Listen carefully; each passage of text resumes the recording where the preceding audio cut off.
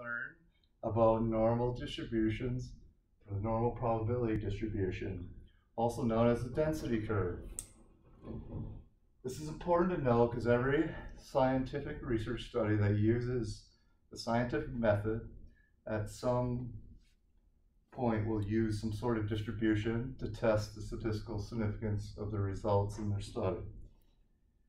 So we'll learn today about the 68, 95, and 99.7 rule of a normal distribution.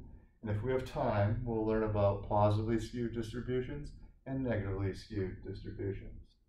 So we'll start first with the normal distribution. Draw here, here's the x-axis. The curve, a normal probability distribution will look something like this a symmetrical upside down parabola, or it kind of looks bell shaped if you remember from your history class. This looks similar to like the Liberty Bell. We prior to last lecture we learned about mean, median, mode, and standard deviation. So for a normal distribution, the mean is perfectly centered in the distribution. It splits the distribution right in half, 50 and 50 on each side mean, and also since it's perfectly symmetrical, the median will also be right the same as the mean. Mean is also known as sigma, I mean mu, excuse me. Then standard deviation, we learned about that last class, also known as sigma.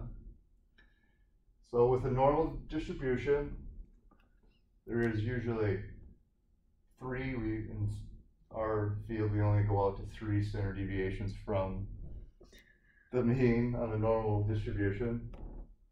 So this is where the 68, 95, and 99.7 rule comes into play.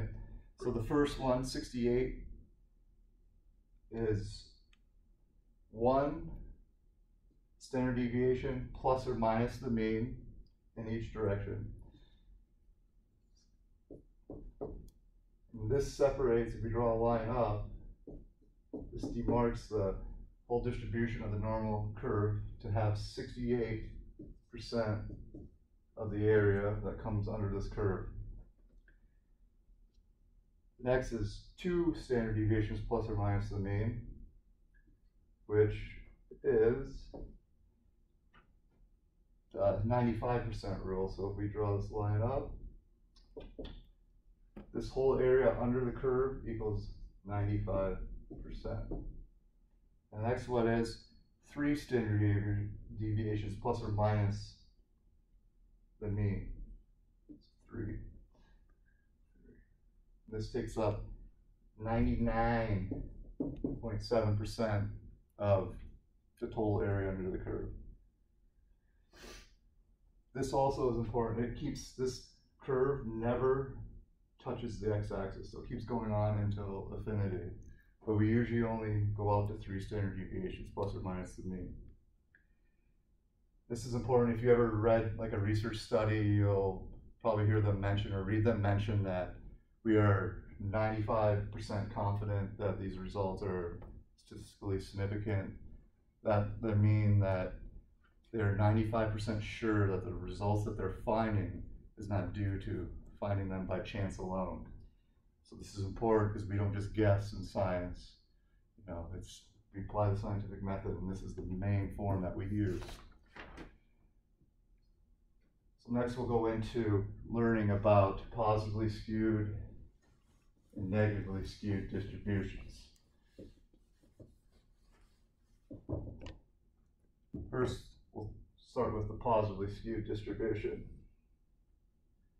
This is similar to the normal distribution, but it has a longer tail that goes up farther up the x-axis. So the data is more skewed in the positive direction.